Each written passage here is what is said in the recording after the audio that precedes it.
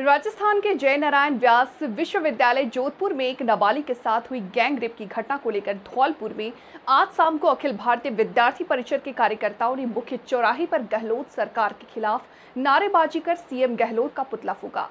ABVP के कार्यकर्ताओं ने कहा कि बहन बेटियों के साथ दुष्कर्म जैसी घटनाओं से राजस्थान की कानून व्यवस्था पूरी फेल दिखाई दे रही है।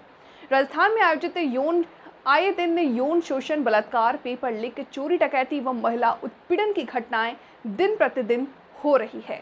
राजस्थान की गहलोत सरकार में जंगल राज हो गया है। राजस्थान की कानून व्यवस्था को मुख्यमंत्री संभाल नहीं पा रहे और सीएम अशोक गहलोत विपक्ष पर आरोप प्रत्यारोप लगा रहे जो शर्मशार है, राजस्थान का पीसीसी चीफ गोविंद डोडासरा केवल विपक्षी दलों पर आरोप लगाने के साथ राष्ट्रीय स्वयंसेवक संघ और विद्यार्थी परिषद पर आरोप लगा रहे हैं क्योंकि इसका मूल मकसद जनता का ध्यान मूल मुद्दों से हटाना है।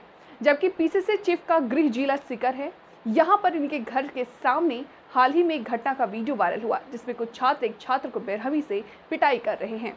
जिसकी तरफ़ ध्यान नहीं दिया जा रहा, सिकर शिक्षा नगरी में विद्यार्थियों की सुरक्षा में कोई मापदंड नहीं है। यहाँ देश विदेश के लाखों छात्र छात्राएँ अध्ययन के लिए आते हैं। आज अखिल भारतीय विद्यार्थी परिषद के द्वारा धौलपुर के मुख्य चौराहे पर अशोक गहलोत का पुतला जलाया गया। जोधपुर में जो नाबालिग के साथ घटना हुई है, उसमें जिस प्रकार से राजस्थान सरकार के द्वारा एबीवीपी के कार्यकर्ताओं को उनको जोड़ा जा रहा है जो कि ये तथ्यहीन है।